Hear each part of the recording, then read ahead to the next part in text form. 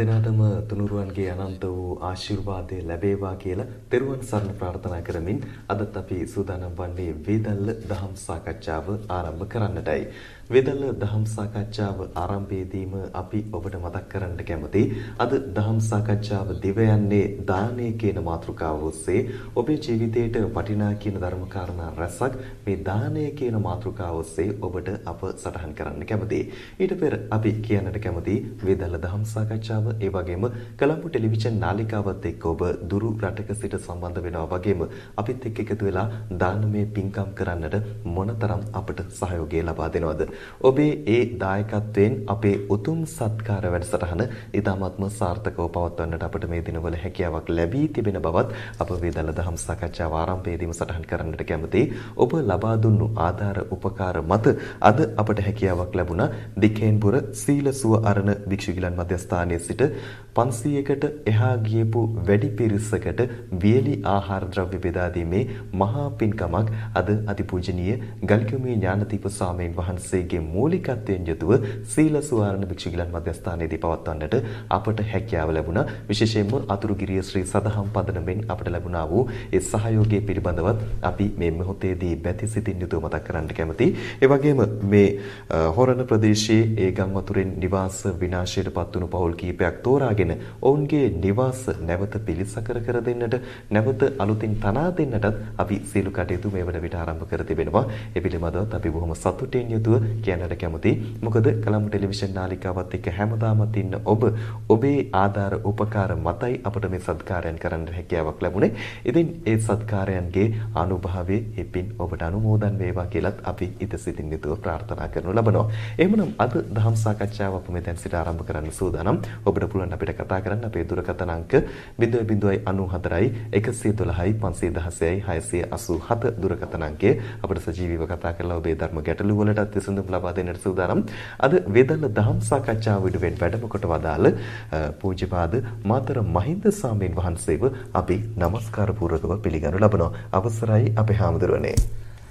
සියලු දෙනාටම සම්මා සම්බුදු සරණ ප්‍රාර්ථනා කරනවා.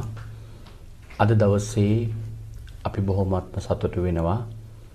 කලම්බු ටෙලිවිෂන් නාලිකාවට මේ විදියට වැඩම කරලා ලංකාවෙන් එහාට ගියපු ධර්ම පිපාසාවෙන් සිටින ලක්ෂ සංඛ්‍යාත බෞද්ධ ජනයා වගේම ධර්මයට කැමති බෞද්ධ නොවන ඒ පින්වත් පිරිස අරමුණු කරගෙන රටවල් 100 ගණනාවකට එහා විකාශනය වන මේ කලම්බු ටෙලිවිෂන් නාලිකාව ඔස්සේ ඊ타මත්ම වටිනා කියන දහම් කරුණු ටිකක් ඔබත් එක්ක සාකච්ඡා කරන්නට.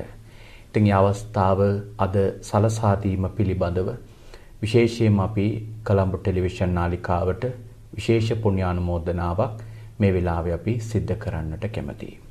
අපේ හාමුදුරනේ දන් දීම පිළිබඳව කතා කරද්දී අපේ ජනතාවට මේ දන් දීම කියන එක ඒ තරම් අමුතු දෙයක් නෙවෙයි. දහමට අනුව දන් දීම පිළිබඳව කතා කළොත් ඉතාමත්ම වැදගත් කියලා මම හිතනවා. ඊට පෙර මම කැමතියි ඔබ වහන්සේගෙන් මේ අද අපි මාතෘකාව විදිහට තෝරාගත්තු දානය කියන කාරණාව පිළිබඳව පුංචි අර්ථකථනයක් ලබා දෙනවා නම් දහමට අනුව. ඔව් ඇත්තටම ගයන් මහත්මයා මේ දානය කියන මේ කාරණාව අපේ භාග්‍යවතුන් වහන්සේගේ ශාසනයේ තියෙන විශේෂම දානයක්. එහෙමයි. දැන් මේ දානය කියන මාතෘකාව ගත්තොතින් ගයන් මහත්මයා අපි දන්නවා බුදුදහමෙත් දන් දෙනවා. වෙනත් ආගම්වල ගත්තයින් පස්සේ ඒ ආගම්වල දන් දෙනවා. එහෙමයි. එතකොට මේ දානය කියන එක සෑම ආගමකම සිද්ධ වෙන දෙයක්. හැබැයි මේ සෑම ආගමකම දානය කියන්නේ දීම කියන කාරණාව සිද්ධ වුණාට බුදුදහමේ උගන්වන මේ දානය කියන කාරණාව ගයන් මහත්මයා ඊ타ත්ම විශේෂයි. ඒ කියන්නේ හරියට නිකන් අහසයි පොළොවේ අතර වගේ තියෙන විශාල පරතරයක් මේකේ තිබෙනවා. එහෙමයි. මේ මේ දානය කියන කාරණාව අපි තේරුම් ගන්න තියෙන්නේ යම් කෙනෙක් නිවන් මාර්ගයට යනවා ඒ නිවන් මාර්ගයට යන කෙනාට පළවෙනියටම පටන් ගන්න ඕන දානීය කියන පියවරෙන්. ඒ කියන්නේ එතන පටන් ගැනීමක් කියන එක නෙවෙයි දානීය කියන පියවරෙන් තමයි මේ නිවන් මාර්ගයේ පුරුදු කිරීම පටන් ගන්න ඕන. ගොඩක් වෙලාවට මේ දානය කියන කාරණාව අද අපි දකිනවා ගෑන් මහත්මයා සමාජයේ මේ ඇතැම් පිරිස් මේක දකින්නේ එක්තරා මේ හරියට නිකන් අර අපි කීමට කියනවා වගේ මේ මොන්ටිසෝරි අවදියේ ක්‍රියාවක් හැටියට දානය කියන එක දීම කියන එක. ඒක හොඳටම තේරෙනවා. දැන් ඔය අපි හිතමු භාවනා කරන කෙනෙකුයි දන් දෙන කෙනෙකුයි ඉන්නවයි කියලා. එහෙමයි. මේ දන් දෙන කෙනේ භාවනා කරන කෙනේ අතරේ පොඩි සංවාදයක් යෙදුනොත් අරයා දන් දෙනවා. අනිත් කෙනා භාවනා කරනවා. සමහර ওই භාවනා කරන යහනවා දන් දෙන අයගෙන් අපෝ ඒගොල්ලෝ තාම දන් දීදී ඉන්නේ කියලා. ඒක නිකන් හරියට අහන්නේ දැන් අපි හිතමු මේ අනු යාළුවෝ දෙන්නෙක් ඉන්නවා ඒ දෙන්න සාමාන්‍ය පෙළ විභාගය වෙනක එකට ආවා. එක්කෙනෙක් උසස් පෙළ කරලා විශ්වවිද්‍යාලයේ ගිහිල්ලා සියල්ලක් අවසන්. හැබැයි අර කෙනා තාම සාමාන්‍ය පෙළ කර කර ඉන්නවා. එහෙමයි. එතකොට දැන් අර විශ්වවිද්‍යාලේ ගිහිල්ලා ආපු කෙනා අහනවා විශ්වවිද්‍යාලේ ගිහිල්ලා ආපු කෙනා අහනවා මේ සාමාන්‍ය පෙළ කර කර ඉන්න යාළුවගෙන් අපෝ තාම දන් දීදී ඉන්නේ. ඒක තාම සාමාන්‍ය පෙළ කරනවද? එහෙමයි. ආන් ඒ අර්ථයෙන් ගෑන් මහත්මයා සමහර අය භාවනා කරන අය දන් දෙන පිරිස ගැන හිතද්දි හිතනවා අපෝ තාම දන් දීදී ඉන්නකොට දානය නිකන් හරියට නිකන් අර ලාමක අවදී ක්‍රියාවක් හැටියට තමයි සලකන්නේ. නමුත් මෙතනදී විශේෂයෙන්ම කියන්න ඕන භාග්‍යවතුන් වහන්සේ අපට දේශනා කරනවා දීපංකර භාග්‍යතුන් වහන්සේගේ පාදමූලයේදී බුදු බව ලබන්න නියති විවරණේ ගත්තම ඒ අබිනීහාර ධර්ම අටෙන් නියති විවරණේ ලබාගෙන සුමේද තාපසතුමා මේ බුදු බව ලබන්නට කුමක් කළ යුතුද කියන කාරණාව හිතද්දී උන්වහන්සේ පළවෙනියටම පුරන්න පටන් ගත්තේ දාන පාරමිතාව. එතකොට හිතන්න ගෑන් මහත්මයා මේ දානීය කියන කාරණාව මොන තරම් අවශ්‍යද මේ මාර්ගයේ වඩන්න. ඒ කියන්නේ සමහර වෙලාවට දැන් ඔය දැන් අභිධර්මීය කරන පිරිස අතරත් ගොඩක් වෙලාවට මේ දානීය කියන කාරණාව කියන්නේ හැම කෙනාම නේ ඇතැම් පිරිස් අතර ප්‍රතික්ෂේප වෙනවා. එහෙමයි. එතකොට ඒ කියන්නේ ඒ ඒ කරුණෝ දැන් භාවනාව කියන කරුණෝ මේ අභිධර්මීය කියන කරුණෝ ගොඩක් වෙලාවට මේ ඉහළ තත්ත්වයේ ගණේ හැටියට දාලා තමයි කතා කරන්නේ. ඒක අපි ගොඩක් වෙලාට දකිනවා ඔය සමහර භාවනා කරන පිරිස් එහෙම මුණ ගැහුණෙන් පස්සේදී යාලා ටිකක් හරි අමුතු මේ මාන්නකින් වගේ තමයි ජීවත් වෙන්නේ. භාවනා කරන භාවනා කරන. ඒ කියන්නේ හැම කෙනාම නෙමෙයි ඇතැම් පිරිස්. ඒ කියන්නේ ওই භාවනාව වැරදියට අල්ලාගත්තු පිරිස්. ඒ කියන්නේ එතකොට යාලා හිතනවා අපි දැන් ඔන්න මේ මාර්ගේ නිවැරදි තැනට දැන් වැටිලා තියෙනවා මේ ගමන යනවා. හැබැයි එයාලා දන් දෙන විදි දන්නේ නැහැ, දන් දෙන ආකාර දන්නේ නැහැ, දන් දෙන්නේ කොහොමද කියලා දන්නේ නැහැ, දානේ කියන්නේ මොකද්ද කියලා දන්නේ නැහැ. ඉතින් මේව නැතුව ගෑන් මහත්මයා කවදාවත් කෙනෙකුට නිවන් මාර්ගයට යන්න බෑ ඇත්තටම. මොකද දැන් ඔය දැන් භාග්‍යතුන් වහන්සේ අභිධර්ම දේශනාව කරන්න ගියාම තවතිසා මේ තුසිත දිවි ලෝකෙට අභිධර්ම දේශනාව කරන්න පටන් ගත්තෙන් පස්සේදී උන්වහන්සේ පළවෙනියටම පටන් ගත්තේ දාන කතාවකින්. කියන්නේ දානයක ආනිසංශයක්කින් තමයි ඒ වෙලාවේ දෙවරු දෙන්නෙක්ගෙන් ළඟ තිබිච්ච එක්තරා කාරණාවක් මූලික කරගෙන දානයකින් තමයි අභිධර්ම දේශනාව පටන් ගත්තේ. එහෙමයි. ඉතින් ඒ වගේ ගත්තයින් පස්සේ මේ දානය කියන කාරණාව ගැන මහත්මයා අපි හිතනවා ඊ타ත්ම පුළුල් මාතෘකාවක්. ඉතින් අපිට මේකේ මම හිතනවා එක්තරා පුංචිම පුංචි කොටසක් අද සාකච්ඡා කරන්න පුළුවන්කමක් ලැබෙයි කියලා. අපි හෝරා එකහමාරක කාල සීමාව තුළ දානය පිළිබඳව හැකිතා ගැඹුරට අපි අපේ හාමුදුරුවෝ සමගින් සාකච්ඡා කරන්න සූදානම්. විශේෂයෙන්ම ලංකාවේ PO TV ඔස්සේ අපිව නරඹන ඔබට වගේම අංක 111 channel අංකයේ ඔස්සේ අපිව නරඹනවා වගේම වැඩි පිරිසක් අපිව නරඹන්නේ පිටරට විදේශගතව ඉන්න අය. ඉතින් ඔබට අපි වැඩි අවස්ථාවක් ලබා දෙන්නටත් සූදානම්. ඒ නිසාම අපේ හාමුදුරන්ගෙන් මට මෙන්න මේ වගේ ප්‍රශ්නයක් අහන්නට හිතුණා. අපිට මේ ලංකාවේ ඉන්න අයට නම් බොහෝ විට දන් දෙන්නට අවස්ථාව ලැබෙනවා. හැබැයි පිටරට ඉන්න කෙනෙකුට දන් දෙනවා කියන කාරණාව ටිකක් දුර්ලභ කාරණාවක්. ඒ අයට ඒ තරම්ම අවස්ථාවක් ලැබෙන්නේ නැහැ. එහෙම අය කොහොමද අපේ හාමුදුරනේ දානය දෙන්න අවස්ථාවක් උදා කරගත යුත්තේ දහමට අනුව? ඇත්තටම ඒක හොඳ ප්‍රශ්නයක් මම හිතනවා. මේ දැන් ලංකාවේ ඉන්න අයට නම් ගෑන් මහත්මයා අපි දකිනවා ඕනෑම විදියක දන් දෙන අවස්ථාවල් තියෙනවා. එහෙමයි. ඒක ඕනෑම ආකාරයකට යාලා සකසගෙන ඒ කාර්ය කරනවා.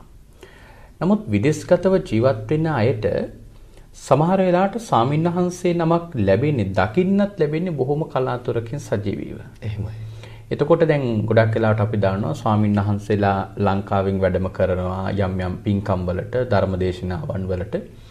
ඒවට වැඩම කරලා උන්වහන්සේලාට සමහරලාට එක ස්වාමින් වහන්සේ නමකට තමයි උපස්ථාන කරන්න දන් දෙන්න ලැබෙන්නේ.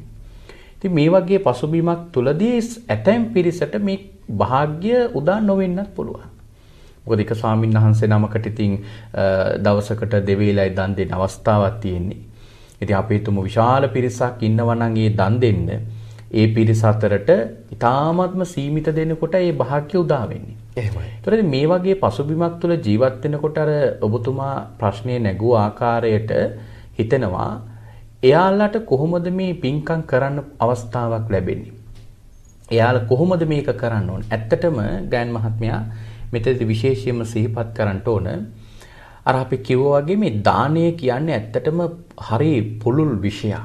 එහෙමයි. මේ දානය කියන කාරණාව බුදුදහමින් හොඳට තේරුම් ගන්න ඕන කාරණාවක්. මේක ඇත්තට මට හිතෙන්නේ විදෙස් රටවලටත් වගේම ශ්‍රී ලාංකිකයන්ටත් ලංකාවේ ඉන්න අයටත් විශේෂයෙන්ම වැදගත් වෙනවා. දැන් අපි හිතමු සාමාන්‍යයෙන් දානේ දෙන එක එක ක්‍රම තියෙනවා. දැන් භාග්‍යවතුන් වහන්සේ දේශනා කරනවා ගෑන් මහත්මයා මේ ලෝකයේ තියෙන අඩුම ආනිසංස ලැබෙන දානය තමයි ඒ කියන්නේ අඩුම ආනිසංස ලැබෙන දානය තමයි තමන් අනුභව කරන බත් පිඟාන අනුභව කරලා ඉවර වෙලා ඒක සෝදනවනේ. එහෙමයි. ඒක සෝදලා ඉවරනාම ඒකේ ඉඳුල් වතුර ටික විසි කරනකොට හිතන්න පුළුවන් නම් මෙන්න මේක සතෙකුට ආහාරයක් වේවාය කියලා අන්න ගෑන් මහත්මයා ඒක තමයි මේ ලෝකයේ තියෙන අඩුම ආනිසංස ලැබෙන දාණය. ඒක අපේ හඳුරන්නේ බුද්ධ දේශනාවට අනුවද මේ කාරණාව පැහැදිලි වෙන්නේ? බුදු දේශනාවට අනුව භාග්‍යවතුන් වහන්සේ දේශනා කරලා තියෙනවා අඩුම ආනිසංස ලැබෙන දාණය තමයි ඒ දාණය. එහෙමයි. එතකොට දැන් උපරිම ආනිසංස ලැබෙන දාණය තමයි ධර්ම දාණය. දානයන් අතර උතුම්ම දානයන් ධර්ම දානයයි. උතුම්ම දාණය ධර්ම දාණය. එතකොට උපරිම මට්ටම ධර්ම දාණය අඩුම මට්ටම ඉවතලන ඉඳුල් වතුර. ඉවතලාන ඉඳුල් වතුර හිතන්න ඕන ඒ වෙලාවට මේක සතෙකුට ආහාරයක් නැත්නම් නිකන් දැන් කෙනෙක් හිතාවේ එහෙනම් අපි මේ වෙනකොට අවුරුදු 40 50ක් විතර ජීවත් වෙච්ච කෙනෙක් හිතාවේ ආ එහෙනම් දැන් මම ගොඩක් පින් කරගෙන ඇති කියලා. නෑ ඒ චේතනාව තියෙන්න ඕන. ඒ කියන්නේ මම මේ වෙලාවේ මේ ඉඳුල් ටික විසික් කරද්දී හිතනවා මේක කිසියම්මෝ සතෙකුගේ ආහාරයක් වේවා. අනේ සිතුවිල්ලෙන් විසික් කරනවා නම් ගෑනු මහත්මිය ඒක තමයි අඩුම දාණය. හැබැයි ඉතින් මේ දැන් මේක සමහරලාට හිතෙන්න පුළුවන් අයියෝ ඉතින් වගේ පොඩි පොඩි මේ පින්කම් කර කර ඉන්නවට වඩා අපිට ඒක සැරේම ලොකු පින්කම් කරනවා. ගෑනු මහත්මිය අර අපි කීමටත් කියනවනේ වතුර බින්දුව බින්දුව හරි කලයට වැටෙනකොට කලේ පිරෙනවා කියලා. ඒ වගේ තමයි අපිට දවසකට දැන් ගිහි කෙනෙකුට දවසකට තුන් වේලක් මේක කරන්න පුළුවන්. කැඩ දිනකට තුන් වේලක් මේ මේ පින කරන්න පුළුවන්. දිනපතාම දිනපතාම කරන්න පුළුවන් තුන් වේලක්. කියන්නේ ආයි කාගෙන්වත් අහන්න සොයන්න බලන්න දෙයක් නැහැ. මෙන්න දැන් මම කිව්වා විදේශගතව සිටින අයට කරන්න පුළුවන් පින්කම්. එතකොට දැන් ඒ විදිහට ගත්තයින් පස්සේදී ගෑන් මහත්මයා දැන් මේ දානයක තියෙන්න ඕන ඥාන සංප්‍රයුක්ත බව. එහෙමයි. මොකද ඥාන සංප්‍රයුක්ත භාවය කියලා කියන්නේ මෙන්න මේක හොඳට තේරුම් ගන්න ඕන. ඒක මේ කොයි තැනක හිටියත් කොයි රටක කොයි විද්‍යක හිටියත් මේ ඥාන සංප්‍රයුක්ත පින්කමක් කිරීම අනිවාර්යයෙන්ම වටිනවා. හේතුව තමයි දැන් අපි යම්කිසි කාර්යයක් කරනවා ඒ කාර්ය කරද්දී ඒ කාර්ය කිරීමේ දැනගෙන ඒක කරනකොට දැනගෙන අපි ඒ දේ කරනකොට ඒක ප්‍රතිඵලය වැඩි. එහෙමයි. දැන් ඒ කියන්නේ ඒකින් අපිට අර සමහර වෙලාවට අනතුරක් තියෙනවා නම් අනතුරෙන් බේරෙන්න පුළුවන්. සමහර වෙලාවට ඒකේ හොඳ දෙයක් තියෙනවා හොඳ දේ වඩාත් හොඳට කරන්න පුළුවන්. දැන් උදාහරණයක් මම කියන්නම්කෝ. දැන් ඔන්න දැන් මේ දැනගෙන කරන එක නොදැනගෙන කරන එක අතර වෙනස. දැන් අපි ගමු සමහර වෙලාවට මේ අ, එකපාරටම ගෙදරක අපි මේ අ, අහඹු ලෙස කොහේ හරි ගෙදරක රාත්‍රී කාලේ යනවා. ඉන්නකොට ගෑන් මහත්ම එකපාරටම ලයිට් යන විදුලි විසන්ධි වෙනවා. එතකොට දැන් අපි හිතමු ඒ ඒ ස්ථානයේ ඉන්නකොට විදුලි විසන්ධි වුණා කිසිම දෙයක් පේන්නේ නැහැ. ඉතින් අපිට දැන් පොඩ්ඩක් ඔය එහාට යන්න වෙනවා අපි හිතමු දැන් අපි විතරයි එතන ඉන්නේ. ඉතින් මේ ගෙදර තියෙන විදිය අපි දන්නෙත් නැහැ. කෙනෙක් කියනවා අන්න අර හරියනම් ගිනි පෙට්ටියක් තියෙනවා වගේ දැක්කා. චුට්ටක් ගිහලා බලමු. හැබැයි ගෑන් මහත්මයා එතන යනකොට පොඩ්ඩක් ඉස්සරහට යනකොට පඩියක් තියෙන බහින්ද. දැන් මේ අපි දන්නේ නැහනේ. දන්නේ නැතුව මෙතන යනකොට මොකද වෙන්නේ? වැටෙන්න පුළුවන්. අර පඩියේ වැටෙනවා. හැබැයි අපි හිතමු මෙතන නිතර ගියපු කෙනෙක් ඉන්නවා. පඩිය තියෙන බව දන්නවා. එතකොට එයා පියවරවල් පියවරවල් පියවරවල් තබලා ඉතා ඉක්මනින් ගිහිල්ලා අතනින් තියෙන ඒ අදාළ මේ ටෝච් එකක් හරි ගිනි පෙට්ටියක් අරගෙන හැබැයි අර පඩියට අඩිය තියලා බහිනවා. ඇයි එක්කෙනෙක් දැනගෙන කළා අනිත් කෙනා නොදැනගෙන කළා. ඒකට මං කියන්නේ නොදැනගෙන කළාම ගයන් මහත්මයා අනුතුර වැඩි.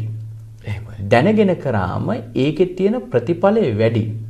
දැන් අපි සාමාන්‍යයෙන් දානය ගැන හිතුවොතින් දානියක් දෙද්දි දැන් සෝමනස සහගත ඥාන සංප්‍රයුක්ත අසංකාරික සිතකින් දානයක් කරන්න පුළුවන් නම් ගයන් මහත්මයා ඒක උසස්ම දානයක් හැටියට අපිට හඳුන්වන්න පුළුවන්. එහෙමයි. දැන් සාමාන්‍යයෙන් ගත්තොත් පෞද්ගලික දාන තියෙනවා 14ක්. එහෙමයි. දක්ඛිනි විභංග සූත්‍රයේ විශේෂයෙන්ම සංග්‍රහ වෙලා තියෙන මජ්ක්‍ධිම නිකාය තුන්වෙනි පොතේ තියෙන දක්ඛිනි විභංග සූත්‍රයේ ඒකේ තියෙනවා මේ පෞද්ගලික දාන 14ක්. දැන් ඒකේ පෞද්ගලික දාන 14 හැදෙන්නේ පළවෙනිම එක තමයි දානීය තමයි අපි උදාහරණයකට හිතුවොතින් මේ තිරිසන්ගත සතෙකුට දෙන දානය. තිරිසන්ගත සතෙකුට දෙන්නම ලැබෙන ආනිසංස අවුරුදු 100ක්. අවුරුදු 100ක් ගැන සමාන ආත්ම 100ක්. ආත්ම 100ක් විපාක ලැබෙනවා. කියන්නේ එක තිරිසන්ගත සතෙකුට දානයක් දුන්නොත් ආත්ම 100ක්. එතකොට බලන්න ගායන මහත්මයා අපිට ওই පින්කම කරන්න බැරිද? ඒ කියන්නේ එක බත් වේලක් දුන්නම ආත්ම 100ක්. තමන් කන බත්පතෙන් පළවෙනි බත් කොටස වෙන් කරලා ඒක gedara ඉන්න සතෙකුට දැන් විදේශගත වෙන්න අයට අපිට කියන්න බෑනේ සත්තු නෑ කියලා. සත්තු ඉන්නවනේ. එතකොට දැන් සතෙකුට අපිට දෙන්න පුළුවන් එක වේලකට දුන්නොත් ආත්ම 100ක්. ඉතින් එක වේලකට 100 ගානේ වේල් තුනට 300ක්. ආත්ම 300ක්ම දානීය විපාක ලැබෙනවා. කියන්නේ ඒ කියන්නේ निराහාරව මේ කියන්නේ ආහාර නැතුව ඉන්න ලැබෙන්නේ අනිවාර්යයෙන්ම ආහාර ලැබෙනවා. ඊළඟට භාග්‍යතුන්සේ දේශනා කරනවා දෙවෙනි දාණය තමයි දාන 14 දෙවෙනි දාණය තමයි දුසිල්වතාට දෙන දාණය. දුසිල්වත් වූ කෙනෙකුට දානයක් දෙනවා. ඒතකොට දුසිල්වත් වූ කෙනෙකුට දානයක් දෙනකොට ඒ දානේ විපාකත් අර විදියම තමයි ආත්ම 1000ක් ලැබෙනවා. කියන්නේ සාමාන්‍ය උදාහරණයක් හැටියට ගත්තොත් අපි හිතමු සිරකරුවෙකුට දෙනවා. එතකොට එහෙම නැත්නම් අපි හිතමු දරුණු අපරාධ කරන වැරදි වැඩ කරන කෙනෙකුට අපි දන් දෙනවා. එහෙමයි. එතකොට යාට දෙනකොට ආත්ම 1000ක් එක විපාකය ලැබෙනවා. ওই විදිහට දාන 14ක්ම මේ දේශනාවේ සඳහන් වෙන අන්න දැන් මේක අපිට කෙනෙක් හිතන්න පුළුවන් මොකද්ද මේ ඥාන සංප්‍රයුක්ත කියන්නේ? ඥාන සංප්‍රයුක්ත කියන්නේ ගෑන් මහත්මයා ඒ කරන දේ ආනිසංස දැනගෙන දීම. දැන් අද කාලේ ඉන්නවනේ සමහර අය මම නම් ඔය ආනිසංසවත් බලාපොරොත්තු නැතුවනේ දන් දෙන්නේ කියලා. එහෙමයි. එහෙම හිතන ඉන්නවා. එතකොට දැන් ආනිසංස ගැන හිතන්නේ නැතුව දන් කියන්නේ ආනිසංස දැන් අපි හිතමු යම්කිසි දානයක විපාකයක් ලැබෙනවා කියන සිතුවිල්ලෙන් දන් දී දන් නොදීම ඒක හොඳ නැහැ. ඒක ඒක සුදුසු වෙන්නේ නැහැ. කියන්නේ ආනිසංස දැනගෙන දීම තමයි ඥාන සම්ප්‍රයුක්ත වෙන්නේ. එතකොට දානෙ තෝරගන්න පුළුවන්. දැන් අපි හිතමු අවස්ථාවක් ලැබෙනවා Tamanට තියෙන බත්පත. ওই බත්පත දෙන්න අවස්ථා දෙකක් තියෙනවා. එක්කෙනෙක් ඉන්නවා තිරසන්ගත සතේ. තවත් ඉන්නවා අපි හිතමු තවත් මිනිස්සෙක් ඉන්නවා කියලා. ඒ මිනිස්සයා ওই විදියට දැන් දන් දෙනවා. දන් දෙනකොට දැන් මේ මිනිස්සයාට තෝරගන්න කොහොමද මම බල්ලට දෙනවද මේ මිනිස්සයාට දෙනවද? ප්‍රශ්න දෙකක්. ප්‍රශ්න දෙකක්. අන්න ඒ ප්‍රශ්න දෙකේදී එතනදී එයාට තීරණය කරන්න පුළුවන් මේක දුන්නොතින් වැඩිපුර ආනිසංස ලැබෙන්නේ කාටද? අන්න ඒක හිතන්න ඕනේ. අන්න ඒක තමයි ඥාන සම්ප්‍රයුක්ත භාවය. වැඩිපුර ආනිසංස ලැබෙන්නේ කාටද? අන්න එයාට දන් දෙනවා. අන්න ඒ විදිහට ගෑන් මහත්මිය අපිට පුළුවන් ගොඩාක් වෙලාවට විදේශගතව ඉඳගෙන උනත් මෙන්න මේ වගේ දාන පින්කක් කරන්න. ඊට තවත් ওই 14 තියෙනවා ඉහළට ඒ කියන්නේ පෘථග්ජන සිල්වතාට ඒ කියන්නේ පෘථග්ජන සිල්වතෙක් කියලා කියන්නේ දැන් අපි දන්නවා විදේශ රටවල් වල දන්සැල් එහෙම දෙනවා තැන් තැන් වල යම් යම් රටවල් වල දන්සැල් පින්කම් කරනවා. එතකොට එතනදී දැන් ගොඩක් වෙලාවට මේ ඒ වගේ පිරිසට දන් දෙනවා. දැන් අපි හිතමු පෘථග්ජන සිල්වතාය කියලා කියන්නේ මෙතනදී ගෑන් මහත්මයා දැන් සමහර අය ඉන්නවා මේ ඇත්තරම දුසිල්වත් කියන්නේ දරුණු නෑ. එහෙමයි. එයාලා හොඳයි සමහර වෙලාවට ඔය මේ පාටියකට ගියන් පස්සේදී විතරක් බොන අය. අන්න එයාලා සමාජයෙන් හඳුන්වලා තියෙන හොඳයි. නමුත් එයා හොඳම නෙමෙයි සිල්වත් නෑ. පෘථග්ජන භාවයෙන් සිල්වත්. ඊළඟට සමහර අය ඉන්නවා මේ සත්තු මරන්නේ නෑ. හැබැයි ගෙදරට සරපෙක් එහෙම ආවොත් ගෙදර කැරපොත්තු කූඹි හිටියොත් මරනවා. ඒතකොට සත්තු නිකන් නිතර මරණ කෙනෙක් නෙවෙයි. හැබැයි අර විදිහට මරණ. අන්‍ය අතේ පෘථග්ජන සිල්වතා. ඉතින් එහෙම කෙනෙකුට දන් දුන්නොත් ආත්ම ලක්ෂයක් ආනිසංස ලබන්න පුළුවන්. ඒතකොට දැන් බලන්න මේ වගේ ගත්තම මේ මෙන්න මේක තමයි අපි දැන් අර භාග්‍යතුන් වහන්සේගේ ධර්මයේ ගෑන් මහත්මය කිසිම වෙලාවක අපි අතරමං කරලා නැහැ උන්වහන්සේගේ ශාසනය. එහෙමයි. ඒතකොට මේ ශාසනය අතරමං වෙලා නැති නිසා උන්වහන්සේ දේශනා කරනවා ඕනෑම වෙලාවක මේ පින්කම් කරන්න අවස්ථාව තියෙනවා. ඉතින් එතකොට තව මේකේ 17 ගේ ඉහළම දාණය තමයි භාග්‍යතුන් වහන්සේ දේශනා කරන්නේ. මේ 14 භාග්‍යතුන් වහන්සේ නමකට පූජා කරන දාණය. බුදුවරයෙකුට. කියන්නේ දැන් අද කාලේ හිතෙන්න පුළුවන් කොහොමද අපි බුදුරජාන් වහන්සේ නමකට දෙන්නේ? ඒක දෙන්න පුළුවන් ජීවමාන සංඥා උපදවාගෙන තමන්ගේ ගෙදර බුදු පිළිමයකට බුදු පූජාව තියන්න පුළුවන්. දැන් විදේශගතව ඉන්න අයට මට හිතෙන්නේ ගෑන් මහත්මයා ලංකාවේ ඉන්න අයට වඩා විශාල එක්තරා පැත්තක වාසියක් තියෙනවා ප්‍රනීත උසස් දේවල් දන් දෙන්න පුළුවන්. එහෙමයි. ඒ කියන්නේ ප්‍රනීතයි උසස් දේවල් දන් දීමේ හැකියාවක් තියෙනවා මේ විදේශගතව ඉන්න අයට. ඒක අපි ගොඩක් වෙලාවට දකිනවා. එතකොට දැන් භාග්‍යතුන් වහන්සේට දෙනවා. ඒකේ දුන්න මානිසංස ගයන් මහත්මයා අනන්තය. ඒ කියන්නේ සීමාවක් නෑ අනන්තයි. ඒ කියන්නේ ආනිසංසවල සීමාවක් නෑ. එක බුදුරජාණන් වහන්සේ නමකට මේ විදිහට පුත්තු පූජා පූජා කරන්නේ. ඒ කියන්නේ අපි හඳුන්නේ මෙතනදී චේතනාව තමයි වැඩිපුරම වැදගත් වෙන්නේ. අනිවාර්යයෙන්ම චේතනාව තියෙන්න ඕන. ඒ කියන්නේ අපි හිතමු බුදු පිළිමයක් දැන් භාගතුන් වහන්සේ වෙනුවෙන් වන්දනා කරන ස්ථාන තුනක් තියෙනවානේ ශාරීරික පාරිභෝගික උද්දේශික කියලා. එතකොට අපි දැන් ශාරීරික නැත්තම් කියන්නේ ධාතුන් වහන්සලා නැත්තම් චෛත්‍යයක් නැත්තම් ඊළඟට පාරිභෝගික භෝගහක් නැත්තම් ඊළඟට උද්දේශික ක්‍රමයෙන් අපිට පුළුවන් දන් දෙන්න. ඒ කියන්නේ අපි උදාහරණයකට බුදු පිළිම වහන්සේ නම. එහෙම නැත්තම් භාග්‍යතුන් වහන්සේ වෙනුවෙන් නිර්මාණය කළ තියෙන පාදලාංඡනය. ඔය කිසියම් මොදයක් අපි අරමුණු කරන්නේ දැන් බුදු පිළිමයක් නම් තියෙනවනම් වඩාත් හොඳයි. ඒ කියන්නේ මොකක් හරි ಉದ್ದೇಶයක්. ඒ කියන්නේ කිසියම් මොදයක් අරමුණු කරගන්නවා. අපිට ඕනේ මේ වෙලාවේ චේතනාව පිටුවා ගන්න විතරයි. අන්න එහෙම කරලා හිතලා හැබැයි එතනදී හිතන්න ඕනේ මෙතන තියෙන මැටි පිළිමයක්. දැන් සමහර අය ඉන්නවා අද කාලේ මේ මැටි පිළිම වලට වදින්නේ. ඇයි මේ මැටි පිළිම වලට පූජාවල් පූජා කරන්නේ? මේ වලදනවද? ඇත්තටම ගෑන් මහත්මයා ඒකේ තියෙන ප්‍රශ්නේ තමයි ඒ පිරිසට මේ බුදුරජාණන් වහන්සේ කවුද කියලා දන්නේ නැතිකම. වටිනාකම වටිනාකම නොදන්නාකම මූලිකම කාරණාව. ඒ වටිනාකම නොදන්නාකම නිසාම ගොඩක් වෙලාට මිනිස්සු මේ වටින පින්කමක් කරගන්න තියෙන එක නැති කරගන්නවා. අපි හඳුනේ මට මෙතනදීම තවත් පුංචි ප්‍රශ්නයක් නගන්නට හිතුණා. ඒ තමයි දැන් මේ ඔබ විදේශගතව සිටියත් ඔබටත් මේ කාරණාව පොදු වෙන්නට පුළුවන්. අපි දානයක් දෙනකොට ඇතැම් අවස්ථාවලදී මේ ව්‍යංජන වෙන වෙනම භාජනවල තැබිය යුතුයි.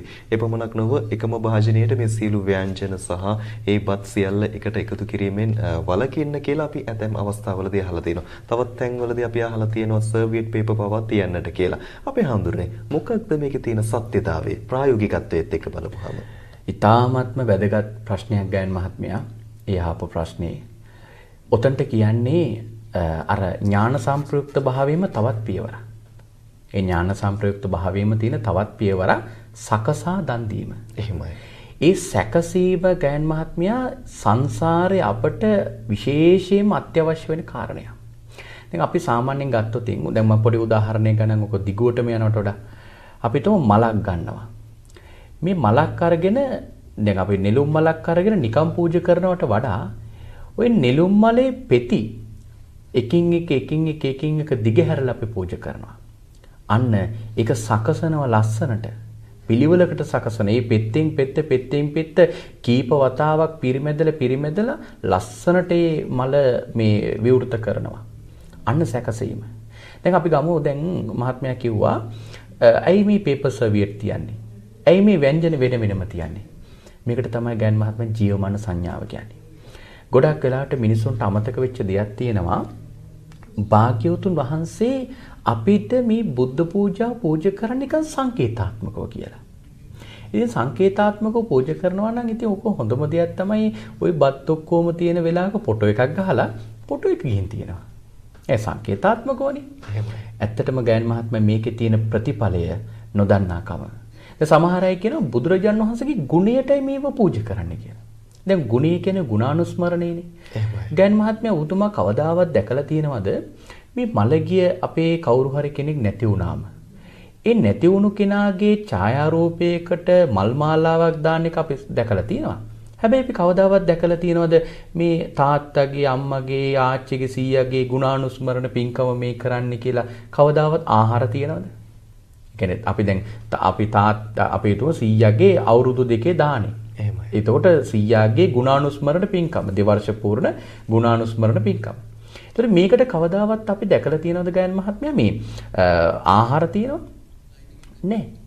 භාග්‍යවතුන් වහන්සේට ඇයි මේ ආහාර තියන්නේ? ඇයි මේ බුදුහාමුදුරුගේ ගුණයට ආහාර තියන්නේ? ගුණය දානේ වලදනවද? නැහැ. එහෙනම් මොකටද මේ කරන්නේ? මේ කරන්නේ ගයන් මහත්මයා ජීවමාන සංඥාව. දානයක් සම්පූර්ණ වෙන්න නම් කරුණු තුනක් තියෙන්න ඕන. එහෙමයි.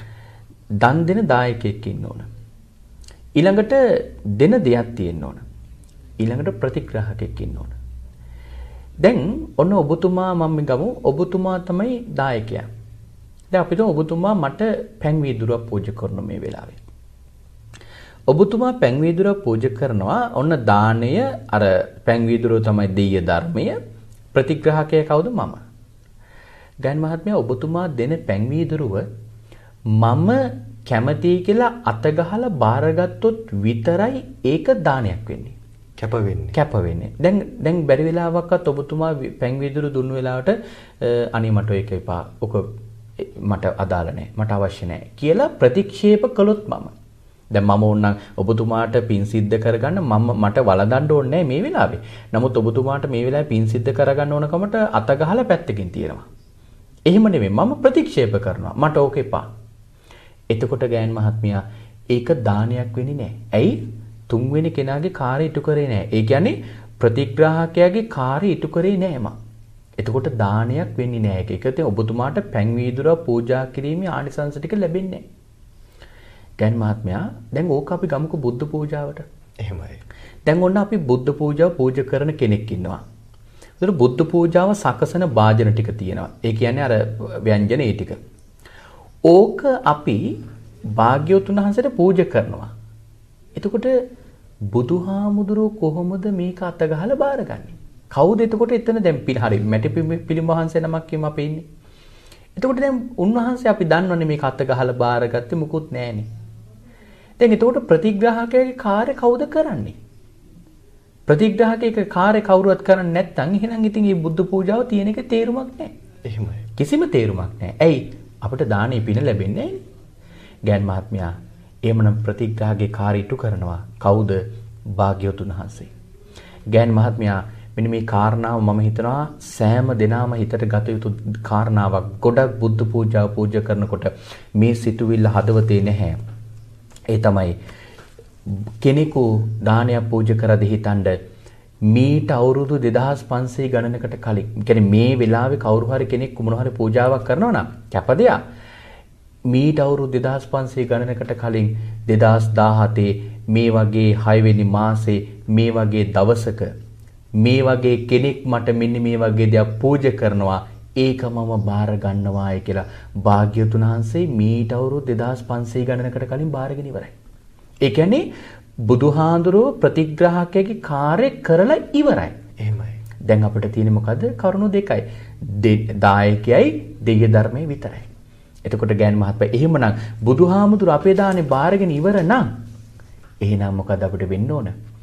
අපි මේ සියලුම දානයන් පූජා කරන්න ඕන භාග්‍යතුන් වහන්සේ වළඳන විදියට. අන්න එතකොට තමයි ඔබතුමාර කිව්වා වගේ පේපර් සර්වියට් එකක් තියන්න ඕන, අත හොදන භාජන තියන්න ඕන, වෙන වෙනම ලොකු භාජනවල ආහාර තියන්න ඕන, දානේ තියන්න ඕන, පැන් වීදුරු වෙනම තියන්න ඕන.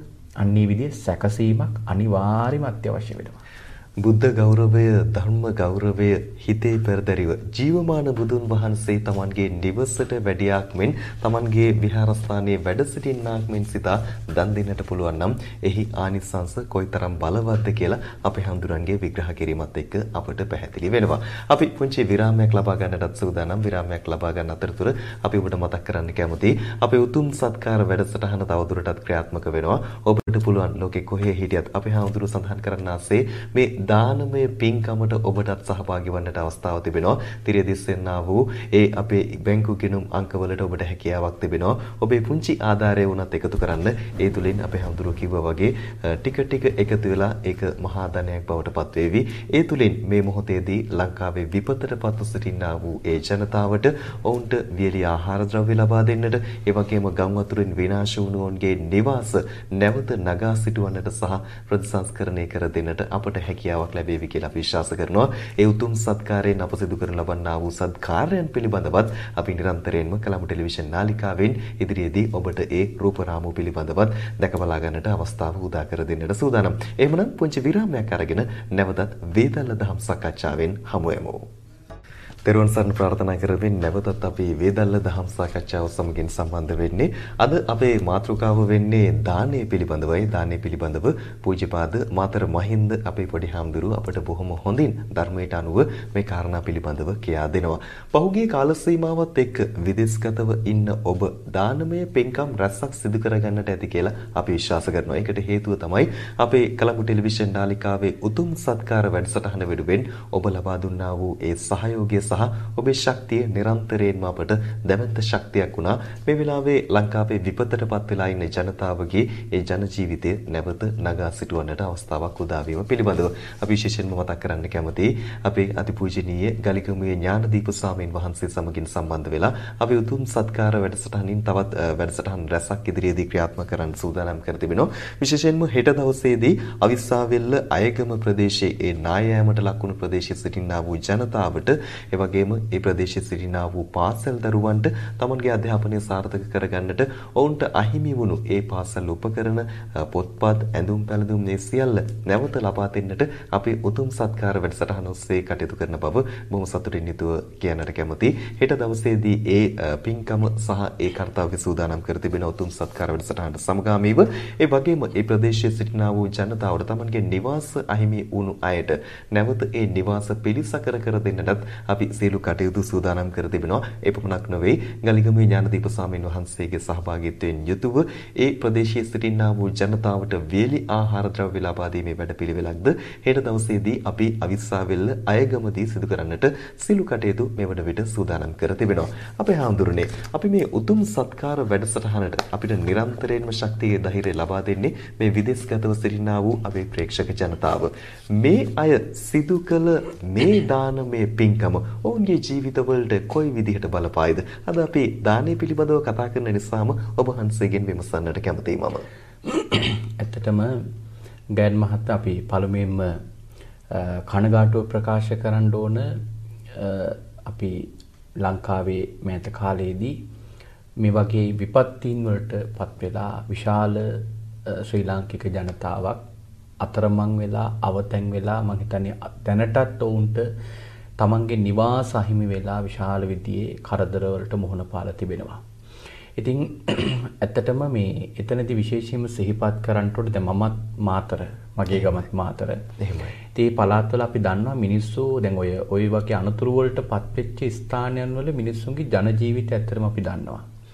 ගොඩාක් වෙලාවට තේ දලු කඩලා අවුරුදු 10 15 ගෑන් මහත්මියා තේ දලු කඩලා කඩලා තමන්ගේ දෑත දෙපයි ශක්තියෙන් ගොඩාක් වෙලාවට මෙහිම ගැඩොල් කැටේ කැටේ එකතු කරලා යන්තම් ටකරන් කොළ දෙකක් ෂීට් කොළ දෙක තුනක් එකතු කරගෙන යාන්තම් ගේ අමුණගෙන හදාගෙන ඉන්නවා. එහෙමයි. ඉතින් මේ මිනිසුන්ට හිතලා බලන්න ගෑන් මහත්මයා ඒ වගේ ජීවත් වෙච්ච මිනිසුන්ට එක පාරටම මේ පැයක් දෙකක් තුනක් යද්දි තමන්ගේ ගෙවල් පිටින්ම මේ විදියට පත් උනායි කියලා කියනකොට අර ගැඩොල් කැටේ කැටේ එකතු කරලා යන්තම් ගොඩනගාගත්තු ඒ පැල්පතත් අහිමි වුණා නම් මේ පිරිස කොච්චර අසරණ භාවයට පත් වෙලා තියෙනවද? ඒ කියන්නේ එක රැයකින් ගැලූ ගම් වතුර පිළිබඳව නෙවෙයි ප්‍රශ්නේ තියෙන්නේ. ජීවිත කාලයේම වෙහෙස මහන්සිලා ජීවිතේම දිය කරලා ගොඩනගාගත්තු දේ අහිමි වීම පිළිබඳව. ඇත්තටම ගෑන් මහත්මයා අන්නේ එතනයි අපිට තියෙන දරුණුතුම සංවේගය. මොකද යමක් කමක් තියෙනවා නම් තියෙන ඇත්තෝ පොතක පතක දාලා එකතු කරගෙන ඉන්නවා යම් ආපදාවක් වෙලාවට ගන්න. ඇත්තටම මේ මිනිසුන්ට අපි දන්නවා ගෑන් මහත්මයා එහෙම ආපදාවකට ගන්න තියා Tamanට යම්කිසි එදා වේල හම්බ කරගෙන තමයි ජීවත් වෙන්නේ. කුලියට වැඩ කරගෙන එහෙම ජීවිත ගත කරන්නේ. ඉතින් Tamanගේ අහිංසක දරුවන්ට කොහොම හරි උනන්දුවෙන් උගන්වලා තමන්ගේ මේ දුක්බර ජීවිතින් මිදලා ඔවුන්ට යම්කිසි යහපත් අනාගතයක් ගොඩනගන්න තමයි මේ අම්මලා තාත්තලා හැමදාම කටයුතු කරේ. ඉතින් ඒ වගේ අම්මලා තාත්තලාගේ සිහින දැන් බොඳ වෙලා තියෙන්නේ. ඉතින් මම හිතනවා. මෙන්න මේ වගේ අවස්ථාවකදී තමයි විදේශ රටව ඉන්න යම්කිසි අපේ ශ්‍රද්ධාවන්ත පින්වතුන්ට හොඳම අවස්ථාව. අපි මම මුලින් මේ කතාව පටන් ගත්තේ ඊ타ත්ම සංවේගයෙන්. නමුත් මම හිතනවා මේ වෙලාව හොඳ අවස්ථාවක් අපිට මේ පිරිසට මේ නැගිටින්න යම් අතක් දෙන එක. මේ වෙලාව විශේෂයෙන්ම අපි ඒ කාරණාවට සිහිපත් කරනවා. අපේ පින්වත් අවසරයි ගලිගමේ ඥානදීප නායක මාහිම්පාණන් වහන්සේ. උන්වහන්සේ විශාල සමාජ සත්කාර ගණනාවක් මේ ලංකාව තුළ ඇති කළා.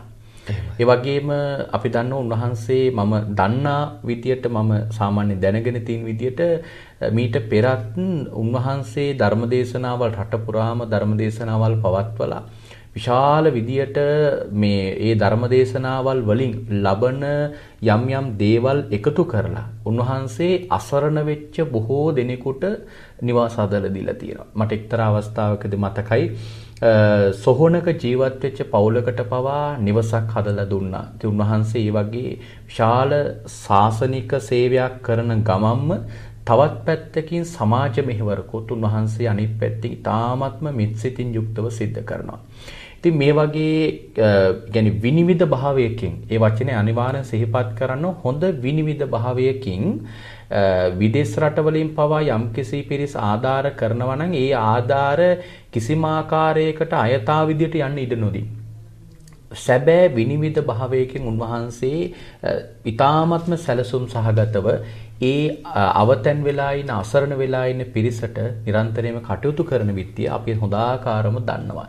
ඒකට ඒ උන්වහන්සේගේ කාර්යයට මම හිතන්නේ කොළඹ ටෙලිවිෂන් නාලිකාව විශාල සහයෝගයක් දක්වනවා. ඒ වගේම අතුරුගිරිය ශ්‍රී සදහම් පදනම පදනම විශාල සහයෝගයක් ඒකට දක්වනවා. ඉතින් විශේෂයෙන්ම සතුටු වෙනවා උන්වහන්සේ වගේ කෙනෙකුගේ අනුශාසකත්වයක් මේ වගේ ස්ථානයකට ලැබිලා. ඒ අනුශාසකත්වයේ හරහා යම්කිසි විශාල සමාජ මෙහෙවරක් දෙපිරිසක් එකට එකතු වුණයින් පස්සේදී විශාල වැඩ කොටසක් කරන්න පුළුවන්. ඉතින් කොළඹ ටෙලිවිෂන් නාලිකාව ඒ සඳහා විශාල සහයෝගයක් ලබා දෙනවා. උන්වහන්සේත් විශාල සහයෝගයක් අනිත් පැත්තෙන් මේ ලංකාවේ ජනතාව වෙනුවෙන් ලබා දෙනවා. ඉතින් ඒකේ විශේෂයෙන් මේලා සිහිපත් කරන්න ඕන. ඉතින් මම මෙතනදී කියන්න කැමතියි ගෑන් මහත්ම මේක කොහොමද අපි ධර්මයෙන් කරුණු දැනගන්නේ? ගොඩක් පිරිස කැමතිනේ තමන් සමහර ලාවට රුපියල් 1000 2000 යෝප පිරිස ඇතිනේ. එහෙමද හඳුනේ. මට මතකයි මේ පසුගිය වැඩසටහනකදී අපිට මේ එක්තරා ප්‍රේක්ෂිකාවක් කතා කරලා කිව්වා මගේ කවුරුත් විපතටපත් උනේ නැහැ. නෑදෑයෙක් හිත මිතුරෙක් දන්නායෙක් කෙනෙකුට එහෙම විපතක් උනේ නැහැ. නමුත් ලංකාවේ අය මේ වෙලාවේ විපතකටපත් වෙලා තින්නේ. ඒ කාට වුණත් කමක් නැහැ විපතටපත් වෙච්ච අයට මම දෙන ආධාරය ගිහින් දෙන්න කියලා අපෙන් ඉල්ලීමක් කරා. ඒ අය දැකලවත් නැහැ කාටද මේ දේවල් දෙන්නේ කියලා. ඇත්තටම ගෑන් මහත්මයා ඒක මම හිතනවා ඊ타මත්ම හොඳ දෙයක්. මොකද එහෙම සිතුවිල්ලකින් සිතන එක. දැන් ඕක ධර්මයේ විස්තර කරනවා මෙන්න මෙහෙම. දැන් අපි හිතමු ඔකට හොඳ ලස්සන සූත්‍ර දේශනාවක් තියෙනවා අංගුත්තර නිකායේ පංචක නිපාතේ කාලදාන සූත්‍රය. එහෙමයි. 62 වෙනි පිටුවේ තියෙන කාලදාන සූත්‍රය. මෙන්න මේ කාලදාන සූත්‍රයේ භාග්‍යතුන් වහන්සේ දේශනා කරනවා යම්කිසි කාලයකට දෙන දාණය. කාලදාන කියන්නේ ඒකයි.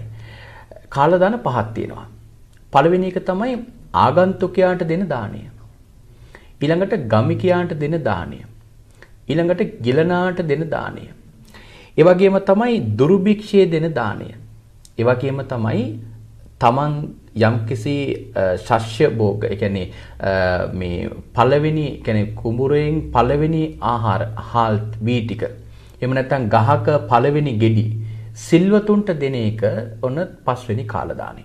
අපි බොහෝ දෙනෙක් දන්නවා මේ අලුත් සහල් මංගල්‍ය පිළිබඳව. එහෙමයි.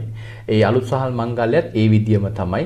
හැබැයි අලුත් සහල් මංගල්‍යද කරන විදිය නම් ඉතින් ඒ තරම් මේ දහමට ගැලපෙන්නේ නැහැ කියලා කියන්න ඕන. මොකද ඒකේ කොටස පළවෙනියට පූජා කරන්න ඕන දෙවියන්ට නෙවෙයි. පූජා කරන්න ඕන සිල්වතුන්ට. එතකොට එහෙම නැත්නම් බුදුරජාණන් වහන්සේට ඊළඟට මේ එහෙම නැත්නම් සංඝරත්නයට එහෙම නැත්නම් සිල්වත් වූ පිරිසකට. අන්නේ පිරිසට පූජා කළා ඒ පින් තමයි දෙවියන්ට දෙන්න ඕන. අනුමෝදන් කරන්න. අනුමෝදන් කරන්න ඕන. එතකොට දැන් මෙතනදී විශේෂයෙන්ම සිහිපත් කරන්න ඕන දැන් මෙන්න මේ මේ කාලදානයේ ගයන් මහත්මයා විශේෂ වැදගත්කමක් තියෙනවා. දැන් මේ කාලදානය කියලා දැන් දානයන් අතර මේ කාලදානය කියලා භාග්‍යතුන්සේ වෙනම හැඳින්නුවේ ඇයි? හැඳින්නුවේ ගයන් මහත්මයා දැන් අපි ගමු සමහර වෙලාවට දැන් ඔන්න දැන් මේ දාන පහ පොඩ්ඩක් විස්තර කරලිමු. පළවෙනියට තමයි මේ ආගන්තුක කෙනාට දෙන දානේ. අපි හිතමු ගෙදරට ඉන්න වෙලාවට එකපාරටම නෑයෙක් හිතවතෙක් කෙනවා ගෙදරට. ඒ කෙනාට තේ එකක් දුන්නොත්. ඊළඟට ඒ කෙනාට බිස්කට් එකක් දෙනවා. ඒ කෙනාට බත් ටිකක් දෙනවා. අන්න කාලා දානේ. ඒ කියන්නේ ඒ මොහොතේ ආපු කෙනාට දානවා. ගමිකයාට දෙන දාණය. අපි හිතමු ගමේ යම් පිරිසක් ඒක වැඩ කරන පිරිසක් වෙන්න පුළුවන්. එහෙම නැත්නම් ගමේ කන්න නැති පිරිසක් වෙන්න පුළුවන්. අන්න ඒ වගේ කෙනෙකුට ගමේ ඉන්න කෙනෙකුට ගිහිල්ලා දාන ටිකක් ආහාර ටිකක් දෙනවා. ඊළඟට තුන්වෙනි එක තමයි ගිලනාට දෙන දාණය. ගිලනාට දෙන දාණය කියලා කියන්නේ ගිලන්නෝ කෙනාට දෙන දාණය. මෙන්න මේකත් ගොඩක් වෙලාට වටිනවා ගෑන් මහත්මයා. දැන් ඔය මේ ධර්මයේ විස්තර කරනවා දැන් අපිට භික්ෂුන් වහන්සේලාට තියෙනවා සිව්පසයක්. එහෙමයි. ওই සිව්පසේ තියෙනවා ගෑන් මහත්මයා ගිලන්පස කියලා. චීවර පිණ්ඩපාත සේනාසන ගිලාන ප්‍රත්‍යනේ. ඒ කියන්නේ ගිලන්පස කියන්නේ. එහෙමයි. මේ ගිලන්පස කියලා කියන්නේ ගෑන් මහත්මයා ගිලන්නෝ වෙලාවට දෙන බෙහෙත්. ඒක තමයි ගිලන්පස කියන්නේ. දැන් එතකොට හවසට ස්වාමින් වහන්සේලාට ගෙනියන දේවල් වලට අපි මොනවද කියන්නේ? කියන්නේ අපි හිතමු දානකට හාමුදුරන්ට ආරාධනා කරනවා. එහෙම නැත්නම් අපි તો සන්ධ්‍යා කාලේ ස්වාමින් වහන්සේ නමකට බණකට වැඩපු වෙලාවේ අපි අහන්නේ මොනවද? හාමුදුරනේ ගිලම්පසට මොනවද ඕන? ගිලම්පසක් වළඳනවද? ගිලම්පසක් වළඳනවද? දැන් මේක ගෑන් මහත්මයා හරි ප්‍රශ්නයක්. මොකද 12න් පස්සේදී එතකොට හැම හාමුදුරුව කෙනෙක්ම ලෙඩ වෙනවද? එහෙමයි. ඇත්තටම ප්‍රශ්නයක් ඒක. මේක නුවණින් විමසලා තේරුම් ගන්න ඕන. ඒ වෙලාවේ ඒක දෙන එකේ අකුසල කර්මයක් නෙමෙයි ගෑන් මහත්මයා තියෙන්නේ. ස්වාමින් වහන්සේ ලෙඩ වෙලා ඉන්නවා නම් ඒ වෙලාවට යම්කිසි පානයක් ගිලන්පසක් හැටියට දුන්නට කමක් නැහැ. එහෙමයි. හැබැයි අනිත් වෙලාවට දෙන පානය පාන වර්ගයක්. ඒක ගිලන්පසක් නෙවෙයි. අපි දැකලා තියෙන මේ අෂ්ටපාන කියලත් අපි මේ බුද්ධ පූජාවේදීත් අපි භාගයට එහෙමයි ගෑන් මහත්මයා. අෂ්ටපාන ධර්මයේ විශේෂයෙන්ම සංග්‍රහ කළ තියෙන විනය පිටකයේ බේසජ්ජක්ඛන්දේ පාන වර්ග 8ක් ඊට අමතරව දැන් ඔය කුඩා පළ වලින් ගන්න පුළුවන් මේ පාන වර්ග. ඒවත් අපිට දියුල් ඔය අලිගට peer ඒ වගේ දේවල් ගන්න පුළුවන් තවත් පාන වර්ග හැටියට. අෂ්ටපාන ගණයට අයිති වෙන්නේ ඒ අෂ්ටපාන ගෑන් මහත්මයා බුදුහාමුදුරන්ගේ විශේෂ ඥානයකින් ගත්තු පාන වර්ග 8ක්. දැන් බලන්න ලෝකේ මේ තරම් පළතුරු තියෙනවා. පළතුරු වලින් උන්වහන්සේ කුඩා පළ කියලා අනුමත කරා. ඒ කියන්නේ කුඩා පළ කියන්නේ මහා පළ නොවන. ඒ කියන්නේ මහා පළ නොවන කියන්නේ ඔය දැන් අපි කියන්නේ මේ කොමඩු කියලා. අන්න ඒ වගේ මහා පළ ගණයට අයිති නොවන දේවල් තමයි කුඩා පළ. කුඩා පළ වලින් ගන්න ඕනම දෙයක් පුළුවන්. ඒතකොට දැන් මේ කුඩා පළ වලින් ගන්න ඒවත් කැප කරලා වෙනම 8ක් කැප කරේයයි ගෑන් මහත්මයා. ඒ 8 විද්‍යාත්මකව හොයලා බැලුවත් විශේෂ ශක්තියක් තියෙන පාන වර්ගයක්.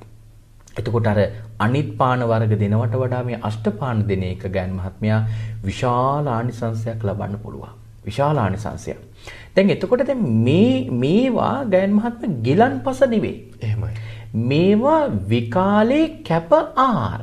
කියන්නේ 12න් පස්සේදී වළඳන්න පුළුවන් කැප දේවල් තමයි ඕවා. එහෙමයි. එතකොට දැන් ඕක පිළිගන්නනකොට පිළිගන්නෝතින් දැන් අපි මෙහෙම ගන්න ඔය දැන් මේ දෙලුම් දැන් අපේ ඔය දැන් ලංකාවේ තියෙනවනේ සිංහල වෛද්‍ය ක්‍රමී මේ ලංකාවේ හැදෙන දෙලුම් වර්ගවල විශේෂ ශක්තියක් තියෙනවා.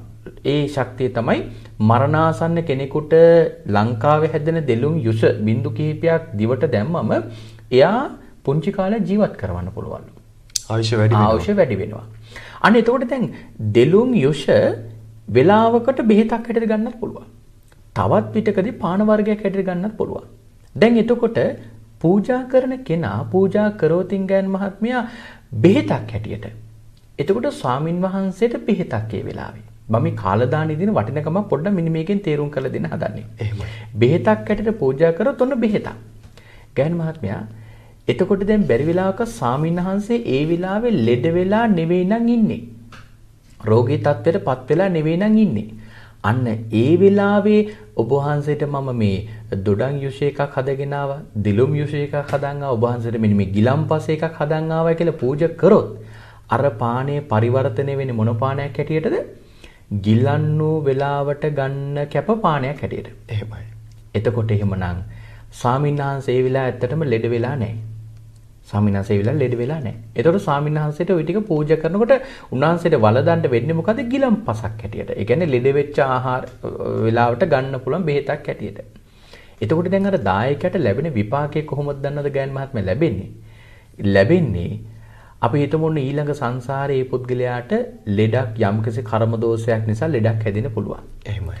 ලෙඩක් හැදිච්ච වෙලාවට ඒ මනුස්සයාට බෙහෙත් ලැබෙනවා එක්ක ලෙඩේට කලින් එහෙම නැත්නම් ලෙඩේ හැදිලා ගොඩාක් විඳවල විඳවල අවසාන මොහොතේ මම පොඩිම උදාහරණයක් කියන්නම් සමහර වෙලාවට heart attack එකට බෙහෙත් තියෙන්න පුළුවන් Taman ළඟ. කියන්නේ Tamanගේ ළඟ බෙහෙත් තියෙන්න පුළුවන්. හැබැයි බෙහෙත් ටික තියෙන්නේ බෙහෙත් පැකට් එක තියෙන්නේ තම Tamanට බෙහෙත් ටිකක් ගන්න පුළුවන් උනේ සංසාරේ බෙහෙත් දන් දීලා තියෙන නිසා. එහෙමයි. එතකොට බෙහෙත් ටික තියෙන්න පුළුවන් අල්මාරියේ. කාර් එකේ යන ගමන් heart attack එකක් හැදෙන්න පුළුවන්. අත ළඟ නැහැ. අන්න හරි. එතකොට බෙහෙත තියෙනවා හැබැයි වෙලාවට නැහැ. අන්න දැන් මේ ස්වාමීන් වහන්සේට ගිලම්පස පූජ කරන්න ඕන ලෙඩ වෙච්ච වෙලාවට. කියන්නේ ගිලන් වූ අවස්ථාවේදී ගිලන්පස පූජා කරන්න පුළුවන් නම් තමයි වඩා හොඳ. වඩාත් හොඳ. ඒක අනිවාර්යයෙන්ම වැදගත් වෙන එක. දැන් අනිත් වෙලාවට උන්වහන්සේට දැන් අපිට මම අර දෙලොන් යුෂ ගත්තේ දෙලොන් යුෂත් වෙලාවකට ගිලම්පසක් වෙන්න පුළුවන් තවත් විදිහකට පාන වර්ගයක් වෙන්න පුළුවන්. එතකොට එතනදී පූජා කරන විදිහේ චේතනාව වැදගත් වෙන්නේ. එහෙමයි. ඒ චේතනාව මේ වෙලාවේදී පිහිටුවා ගත්තොත් තින්ගන් මහත්මයා අනේ මම මේ ස්වාමීන් වහන්සේට අහනවා උන්වහන්සේට අහනකොට අහන පුළුවන් ස්වාමීන් වහන්සේ මොන වගේ පාන වර්ගයක් ඔබ වහන්සේට කැපද? දැන් බැලලාගත් උන්වහන්සේ වෙලාව සෙම හැදිලා ඉන්න වෙලාව. ඒතකොට සීතල જાතියක් උන්වහන්සේට අධික සීතල જાතියක් උන්වහන්සේට ඒ වෙලාව සුදුසු නෑ නේ. රෝගී උත්සන්න වෙන්න පුළුවන්. උත්සන්න පුළුවන්. අන්න එතකොට උන්වහන්සේට ඒ වෙලාවේදී අපිට පුළුවන් ගිලම්පසක් පූජා කරන්න. ඒ වෙලාවට මොනවා හරි කොත්තමල්ලි හෝ මොනවා හරි ඒ වෙලාවට කැප දෙයක් පූජා කරන්න පුළුවන්. එහෙම නැත්නම් අපිට උන්වහන්සේට විමසලා පාන වර්ගයක් කැපද කියලා අහලා එතකොට අහනවනේ ගිලම්පසක් මොකක්ද ඕනේ පාන වර්ගයක් මොකක්ද කැප කියලා. අන්න ඒ වෙලාවට උන්වහන්සේට අපිට තෝරලා බෙල දෙන්න. දැන් මේ කාරණා මම කිව්වේ දැන් ඊළඟට අපිට ওই ওই දානේ තියෙනවා ඊළඟ එක තමයි දුර්භික්ෂේදන කාල දානය. ඉතින් කරුණු හතරක් තුනක් කිව්වනේ. එහෙමයි. දුර්භික්ෂේදන එක තමයි ගෑන් මහත්මයා තියෙන විශේෂයෙන්ම මෙන්න මේ අද විශේෂයෙන්ම මේ විදේශ රටවල ඉන්න සද්ධාවන්ත පින්වතුන් කරන දානය. දැන් අපි බලන්නේ මේ මේ වෙලාවේ මේ වෙනකොට ලංකාවේ විශාල ප්‍රමාණයක් අවතැන් වෙලා විශාල අනතුරු වලට පත් වෙලා ලක්ෂ 6කට වැඩි පිරිසක්. ලක්ෂ 6කට වැඩි පිරිසක්. දැන් අන්න මෙන්න හොඳම කාල දානයක් කරන්න ඕන වෙලාව. ඔබ වාසනාවන්තයි. ඒ අතින්. ඒ අතින් බොහොම වාසනාවන්තයි. ඒ කියන්නේ ඒ දෙන අයට දෙන්නේ ඒ සිතුවිල්ල මේ සිදුවීම අවාසනාවන්තයි. හැබැයි මේ දෙන වෙලාව අපිට අවස්ථාව ලැබීම. දැන් අපිට මෙහෙමනේ ගෑන් මහත්මයා අපිට කවදාවත් ප්‍රාර්ථනා කර කර ඉන්න බැහැනේ. අනේ මේ මට මේ කාලදානයක් කරගන්න ඕන දුර්භික්ෂයක් ඇති වේවා, අවතන් වේවා, අනුතුරු වේවා කියලා කියන්න බෑනේ. අපි මේ තුන් හිතකින්වත් ප්‍රාර්ථනා කරන්නේ නැති දෙයක්. නේ. එහෙමයි. එහෙමයි. දැන් අර මම සාමාන්‍යයෙන් කියන්නේ ඉතින් මේ මල් ශාලාවක ගැහුවොත් මෙම මේ ආයතනෙ දියුණු වේවායි කියලා ඉතින් මිනිස්සු මැරෙන්න එපා. කවදාවත් ඔහොම ගහන්නේ නැහැ මල් ශාලාවක. ඉතින් ඒ වගේ තමයි කවදාවත් ගෑන් මහත්මයා අරම කරන්න බෑ. නමුත් මේව විපතටපත් වෙලානේ. අන්න හොඳ අවස්ථාවක් ගෑන් මහත්මයා. දැන් මේකෙන් ලැබෙන විපාකය මොකද්ද? ඒ පුද්ගලයන් ලැබෙන විපාකය. අපි හිතමු සංසාරයේ මොකක් හරි ඍතු විපර්යාසයකින් එහෙම නැත්නම් මොකක් හරි දෙයකින් යම් විපතකට අහුණු. දැන් මේව ගොඩක් කරට කර්ම ගණයටම දාන්න බෑ. මේකේ ඍතු විපර්යාසයන් නිසා ඇතිවෙන යම් යම් කර්ම දේවල්. ඒ කියන්නේ යම් යම් දෙයක්. නියාම ධර්ම නියාම ධර්ම වලට අයිති වෙන දෙයක්. එතකොට දැන් මෙතනදී අපි ගමු එහෙම සංසාරේ දැන් මේ ලංකාවේ මේ පිරිසට නෙමෙයි. ගෑන් මහත්මයා ඔබතුමාටත් වෙන්න පුළුවන් මටත් ওই ටික වෙන්න පුළුවන්. එහෙමයි. එහෙම සංසාරේ යම්කිසි විපත්තියකට බොහොන පෑවොත් ගෑන් මහත්මයා අන්න එදාට අපිට ගියක් නැති වුණොතින් ගේකට අද නිවාසයක් හදන්න අද සද්ධාවන්ත සිතුවිල්ලකින් යම්කිසි ආධාරයක් කරන්න පුළුවන් වුණොත් යම්කිසි අවශ්‍යතාවයකදී ඒ පුද්ගලයාට නිවසක් ඕනේ කියලා හිතුවොත් නිවසක් ලබන්න පුළුවන්. ඒ කියන්නේ කාල දානය කියන එකයි. කාලයට අනුව ලැබෙන විපාකයක්. එතකොට වෙලාවට බෙහෙත් ටික දුන්න ලෙඩ වෙච්ච වෙලාවට බෙහෙත් ටික දුන්නොත් ලෙඩ වෙච්ච වෙලාවදීම බෙහෙත් ටික ලබන්න පුළුවන්. ආයේ ලෙඩෙන් උත්සන්න වෙන්නේ නැහැ. අපි තුමු දැන් කර්ම දෝෂයක් නිසා යම්කිසි ඍතු විපර්යාසයක් මොකක් හරි නියාම ධර්මයක් නිසා මේ වගේ සංසාර විපත්තියකටපත් උනා. පත් වෙච්ච ගමම අනිත් පැත්තට එක්ක යාට දිවසක් ලබන්න පුළුවන්. එහෙම නැත්නම් අපි හිතමු යම්කිසි ආකාරයකට යම් යම් දෙයක් ලබන්න පුළුවන්. ඒ කියන්නේ මේ කාල දානයේ තියෙන විපාකය අන්නේ විදියයි. එතකොට ගෑන් මහත්මයා අපිට හිතන්න පුළුවන් මෙන්න මේ අවස්ථාව ඊ타ත්ම වටිනවා කාල දානීය හැටියට භාග්‍යතුන් වහන්සේ වෙනම විස්තරයක් කරන්න අන්න ඒ කාරණාව මූලික කරගෙන එහෙමනම් විශේෂයෙන්ම මේ සඳහා උපකාර කරපැත්තෝ මේ සඳහා අනුග්‍රහ කරපැත්තෝ අනුග්‍රහ කරන්න ඉන්නේ නැත්තන්ට මම හිතනවා මෙන්න මේ දහම් කාරණාව දැනගෙනම Tamanට පුළුවන් ආකාරයට යම් ආකාරයකට ලංකාවේ මේ අසරණ වෙලා අවතැන් වෙලා ඉන්න පිරිසට උපකාරයක් කරන්න පුළුවන් නම් මේක පූජාව කරන අයට විශේෂ අවස්ථාවක් හැටියට සලකන්නට පුළුවන්.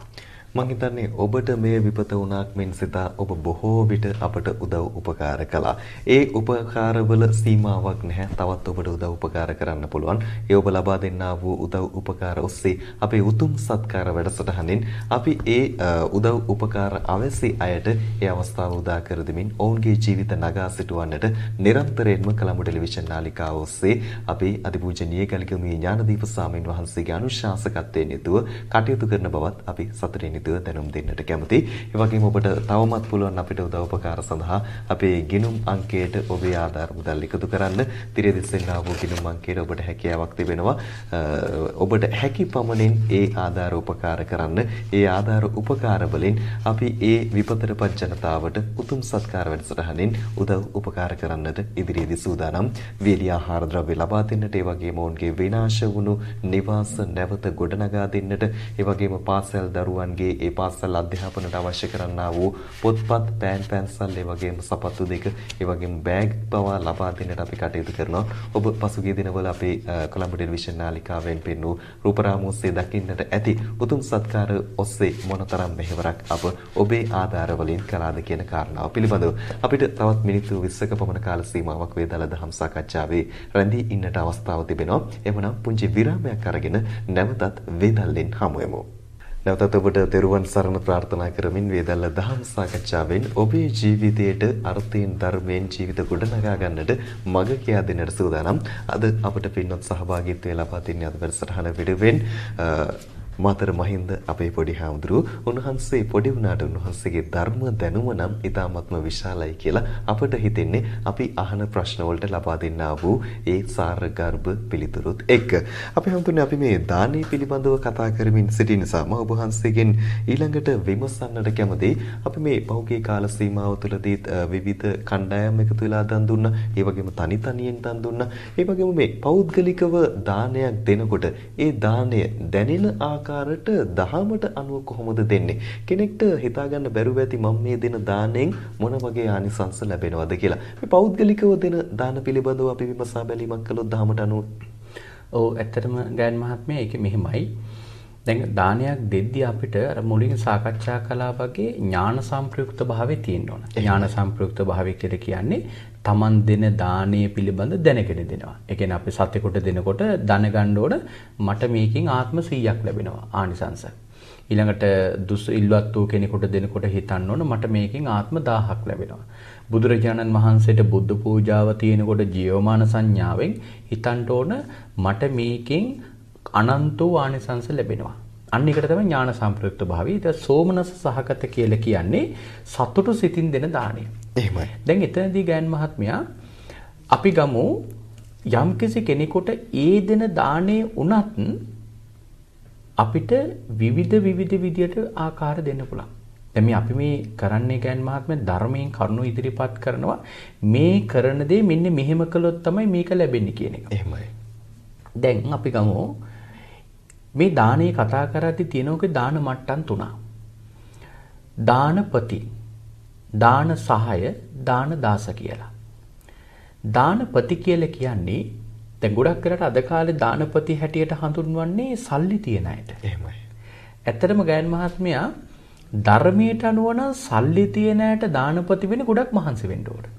දානපති වෙන්න බැරි කමක් නැහැ. සල්ලි තිබූ පමණින්ම දානපතියෙක් නොවේ. දානපතියෙක් නෙවෙයි. දැන් අද කාලේ ගොඩක් වෙලාවට සල්ලි තියෙන අය පින්කම් කරද්දී අපි කියනවා දානපති කියලා. එහෙමයි. එතන දානපතිනේ ධනපති කිව්වට ප්‍රශ්නයක් නැහැ. දානපති ගණයට අයිති වෙන්නේ ඒ ඒ සල්ලි තියෙන අයට දානපති වෙන්න ගොඩාක් මහන්සි වෙන්න ඕන. එහෙමයි.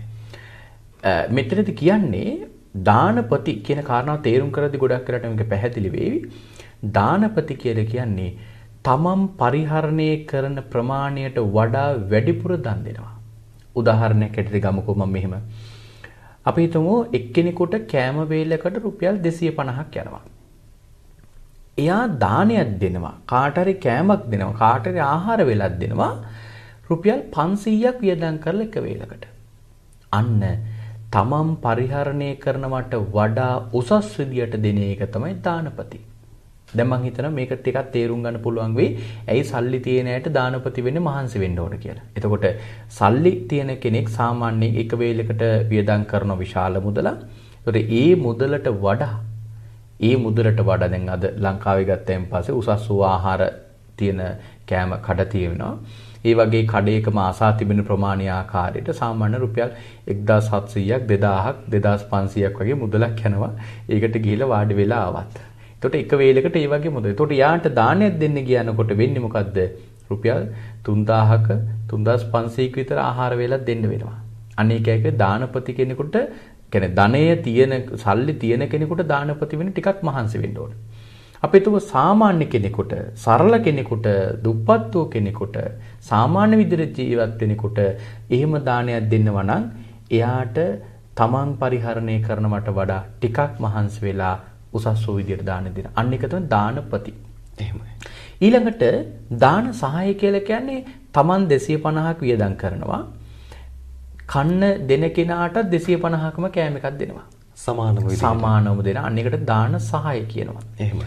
දාන දාස කියන්නේ තමන් 250ක කෑම එකක් කනවා අනුභව කරනවා දානයක් දෙද්දි දෙනවා 150ක් විතර කෑම එකක්.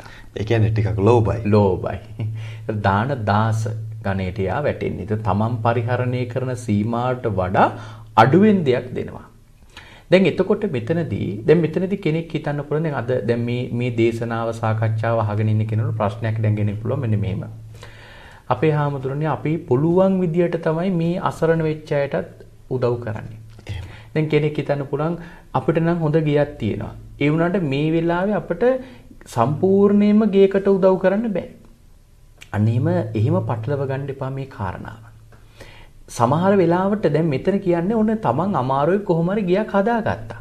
දැන් මේ විදේශ රටවල ඉන්න ගොඩක් අය ඉන්නේ ඇත්තටම තමන්ගේ දරුවන්ට උගන්වන්න මේ සල්ලි හම්බ කරන්න මෙහි ලංකාවේ ගියක් දොරක් හදාගෙන විදේශගත වෙච්ච අය ඉන්නවා. එහෙම අය ඉන්න ගමම්ම ඔන්න අපි හිතමු මේ කොළඹ ටෙලිවිෂන් නාලිකාව හරහා සිදු කරන සමාජ සත්කාරයකට රුපියල් 5000ක් විතර බැර කරනවා. එහෙමයි. රුපියල් 1000ක් විතර දෙනවා. එතකොට එයාට දැන් රුපියල් 1000කින් ගියක් හදන්න බෑනේ. සිමෙන්ති කොටයක් කරන් දෙන්න කොටයක් පුළුවන්. කරන්න පුළුවන්. ඒක ගෑන් මහත්මයා වැටෙන්නේ මොන ගණයටද? කාල දාන ගණයට. දැන් මෙතන කියන්නේ යම්කිසි කෙනෙකුට ඒ වෙලාවේ මේ කරන පින්කමට හවුල් වුණා. එතන දැන් දැන් අපි රුපියල් 1000ක් දීලා කියන්නේ නෑ මේකෙන් ගියක් හදාගන්න කියන්නේ නෑනේ. කරන පින්කමට හවුල් වුණා. ඒක උසස්. දැන් හැකි පමණින්. ඉතින් කරේ. එතන නෙමෙයි මේ කියන්නේ. මේ කියන්නේ තමන් සම්පූර්ණ වශයෙන් පින්කමක් කරනවා නම් අන්න ඒ කරන පින්කම තමයි ගෑන් මහත්මයා මෙන්න මේ ගණයට දාගන්න යොදා ගන්න පුළුවන් කමක් ලැබෙන්නේ. එතකොට තමන් කරන යම්කිසි දෙයක් දැන් මම මේකෙන් කියන්නේ මේ මේ කාරණාව හරි ප්‍රඥාවෙන් තේරුම් ගන්න ඕනේ කියලා මම කියන්නේ මේ කාරණාව දැනගත්තයින් පස්සේදී උසස් දේවල් උසස් විදියට දෙන්න පුළුවන්. එහෙමයි. ස්වාමීන් වහන්සේ නමකට අපිට පුළුවන් උසස් විදියේ දේවල් පූජා කරන්න. දානේ උනත්, පරිස්කාර උනත් උසස් උසස් දේවල් පූජා කරනවා. සිවුරක් දෙද්දි උසස් වූ සිවුරක් පූජා කරනවා. ආහාර වේලක් දෙද්දි ප්‍රනීත ගණේ උසස් වූ දානයක් පූජා කරනවා. අන්න ඒ වගේ උසස් වූ විදියට යම් යම් පින්කම් කරනවා. ඒතකොට ඒව තමයි ගයන් මහත්මයා ওই ගණයට අයිති වෙන්නේ. දැන් සමහර වෙලාවට අපි දන්නවා ස්වාමින් වහන්සේලා අ, යම් යම් විදියට ධර්ම දේශනාවන් වලට වඩම්මනවා. දැන් ගොඩක් විදේශ රටකට උනා වැඩම්මනකොට ඒ විදේශ රටවලට වඩින ස්වාමින් වහන්සේට වඩින අවස්ථාවේ ඉඳලාම ඒ සියලු උන්වහන්සේ අපහසුතාවයට පත් නොවන ආකාරයට කටයුතු කරන්න පුළුවන් නම් අන්න ඒක ඊටාමත්ම වටිනවා. එහෙමයි. මොකද සමහරලාට යම්ක ස්වාමීන් වහන්සේලා අ, විදේශ රටවල් වලට ගිහිල්ලා ගොඩක් වෙලාවට ওই ගුවන් තොටුපළ වල රස්තියාදු වෙනවා. එහෙම දේවල් ගොඩක් වෙලාවට වෙන්න පුළුවන්. අන්න ඒව පුළුවන් තරම් වළක්වලා කටයුතු කරනවා. අන්න උසස් ගණේ දාන්න. උසස් ගණනේ පින්කම් කියන අන්න ඒවා. එතකොට දැන් අන්න ඒව තමයි නුවණින් විමසලා බලලා කරන්න ඕන දේවල්. ඒතර ඒ වගේ දේවල් කරද්දී ගයන් මහත්මයා අර කරන පින්කමින් වඩාත් ප්‍රතිඵලදායක ප්‍රතිඵල පින්කම් ලබන්නට පුළුවන්. එතකොට අපේ හිතුවතින් ඒ කාරණාවෙන් ලැබෙන ආනිසංශය. දැන් දානපති ගණයට වැටෙන්නේ ගෑන් මහත්මයා අපි හිතමු දැන් එහෙම දානපති දානයක් දුන්නොතින් ඊළඟ සංසාරේ ඒ කෙනා අපි හිතමු යම්කිසි ආහාරයක් ලබනවා. අපි දැන් මෙහෙම ගමුකෝ. රුපියල් 1000ක් හම්බ කරන උත්සාහ කරනවා. එහෙමයි. ඒ කෙනාට ගෑන මහත්මයා ලැබෙනවා රුපියල් 2000ක්. ඒ කියන්නේ උත්සාහ කරන ප්‍රමාණයට වඩා වැඩිපුර ලැබෙනවා. ඊළඟට දාන සහාය ගණයට අයිති වෙන අයට මොකද්ද ලැබෙන විපාකය? තමන් උත්සාහ කරන රුපියල් 1000ක් හම්බ කරන්නද 1000මයි ලැබෙන්නේ. දාන දාස ගණයේ දාන දෙන අයට මොකද්ද වෙන්නේ? තමන් උත්සාහ කරන්නේ 1000ක් හම්බ කරන්නක් 500ක් ලබන්න පුළුවන්. එන්න මෙන්න මේක ඥාන සංප්‍රයුක්තව පින්කමක් කරන්න මම හිතනවා ඉතාමත්ම හොඳ වටින දහම් කරුණක් වේවි කියලා. අපේ හඳුන්නේ අපිට තවත් මිනිත්තු 5ක පමණ කාල සීමාවක් තමයි තියෙන්නේ. මම හිතනවා විදේශගතව ඉන්න අයට මේ ප්‍රශ්නේ ඉතාමත්ම වැදගත් වේවි. ලංකාවේ ඉන්න අයටත් වටිනවා කියලා තමයි මම හිතන්නේ. අපේ හඳුන්නේ අපිට හිතෙන්න පුළුවන් මේ පිටරට ඉන්න අයට සාංගික දානයක් දෙන්න. Tamanගේ නිවසට හෝ Taman සිටින ස්ථානයට සාමීන් වහන්සේලා කිහිප නමක් වැඩමවන්නට අවස්ථාවක් ලැබෙන්නේ නැහැ. අපි අතර යම්කිසි මතයක් තියෙනවා සමහර අවස්ථාවලදී මේක හරි වෙන්නත් පුළුවන්, වැරදි වෙන්නටත් පුළුවන්. ස්වාමීන් වහන්සේලා පස් නමක් දානෙට වැඩියොත් හොඳයි. ස්වාමීන් වහන්සේලා දස නමක් දානෙට වැඩියොත් හොඳයි. එහෙමත් නැත්නම් ස්වාමීන් වහන්සේලා මේ වගේ ප්‍රමාණාත්මකව ඒ වඩින ස්වාමීන් වහන්සේලාගේ ප්‍රමාණය වැඩි වුණොත් එහෙම ඒකේ තිබෙනා වූ ආනිසංස වැඩි කියලා බොහෝ දෙනෙක් හිතාගෙන ඉන්නවා. හැබැයි පිටරටක ඉන්න කෙනෙකුට මේ කාර්යය කරන්නට අවස්ථාවක් ලැබෙන්නේ නැහැ. එහෙම අයට කොහොමද අපි දානයක් දෙන්න අවස්ථාවක් උදා කරගන්නේ සහ ඒ පින් අනුමෝදන් කරගන්න පැහැඳුරන්නේ? ඇත්තටම ගෑන් මහත්මයා හොඳ ප්‍රශ්නයක් මම හිතනවා කාලයට අනුව අහපු හොඳ ප්‍රශ්නයක්. ගොඩක් වෙලාවට මේ අපේ ගොඩක් අයත් අතර තියෙන මතයක් තමයි දානය සාංගික කරන පස් නමක් ඉන්න ඕන. එහෙමයි. සමහර මතයක් තියෙන උපසම්පදා එක නමක් සමග ස්වාමින්වහන්සේලා හය නමක් ඕන. ওই විදිහ එක එක මත තියෙනවා. අපි මේ සාංගික දාන ගැන ඉදිරි යම්කිසි දවසක සාකච්ඡාවක් කරමු. ගයන් මහත්මයා විශේෂයෙන් මෙතනදී සිහිපත් කරන්න ඕන එක් ස්වාමින් වහන්සේ නමකට උනත් උනෑම කෙනෙකුට දානයක් පූජා කරන්න පුළුවන්. එහෙමයි. හැබැයි කවුරු හරි හිතුවොතින් මේ ප්‍රමාණයක් ඉන්න ඕන අනේ මට දැන් දෙන්න බෑ. මොකද අපි දන්නවා දැන් සමහර ලාවට විදේශගත වෙන්න අයට සාංගික දාන දෙන්න ගොඩක් අමාරුයි කියලා හිතාගෙන ඉන්නවා. ඒක හිතාගෙන ඉන්න එකක්. ධර්මයේ එහෙම එකක් නෑ. සිතුවිල්ලක් පමණයි. සිතුවිල්ලක් පමණයි. අපි ඒක निराකරණය කරමු ධර්මයෙන්ම.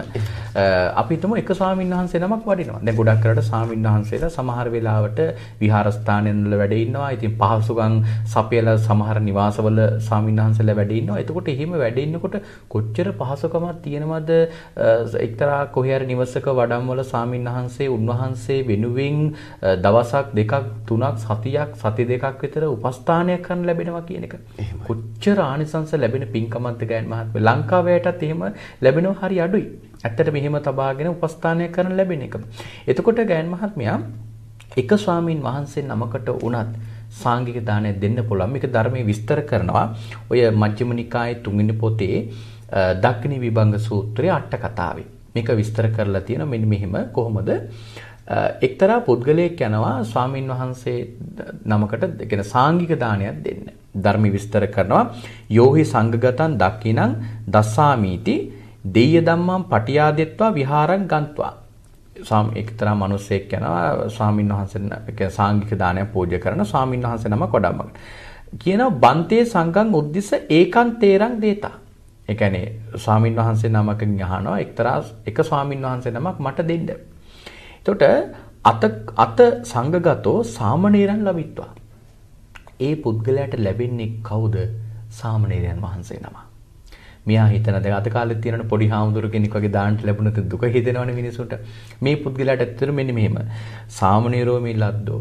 අයියෝ මට මේ පොඩි හාමුදුරු කෙනෙක්ද ලැබුණේ. සාමණේරයන් වහන්සේ නමද ලැබුණේ කියලා දුක් වෙනවා. ඒ පුද්ගලයාගෙට අඤ්ඤත්තං ආපජ්ජති. කියන්නේ දුක්ඛ ස්වභාවයක් ඇති කරගන්නවා. එතකොට තස්ස දක්කිනා සංගගතා නහෝති තස්ස දකිනා සංඝගතන හොද ඒ දාණය සාංගික වෙන්නේ නැහැ. එතන සාමණේරයන් වහන්සේ නමක් ලැබීම නෙවෙයි. එතන ප්‍රශ්නේ තියෙන්නේ මට සාමණේරයන් වහන්සේ නමක් ලැබුණාය කියලා හිතපු එක. චේතනාවේ ප්‍රශ්නය. චේතනාවේ ප්‍රශ්නයක් තියෙන්නේ. ඊට මෙහෙම ඉර මහා තේරන් ලබිත්වා උන්න කෙනෙකුට හිතෙන්න පුළුවන් අම්මෝ අපිට මේ මේ ලොකු හාමුදුරන්ටම දානයක් දී ගන්න වාසනාව ලැබුණානේ. සමහරලාට ඇත්තටම ලංකාවේ ඉන්න බොහොම ප්‍රසිද්ධ ස්වාමීන් වහන්සේලා විදේශකට වඩිනවා. ඒතකොට වඩිනකොට ඒ විලාවට හිතෙනවා මේ මේ මේ හාමුදුරන්ට මට දානයක් දී ගන්න ලැබිච්ච එක කොච්චර භාග්‍යයක්ද. එහෙමයි. ඒ සිතුවිල්ලෙම මොකද්ද වෙන්නේ? පෞද්ගලික වෙනවා.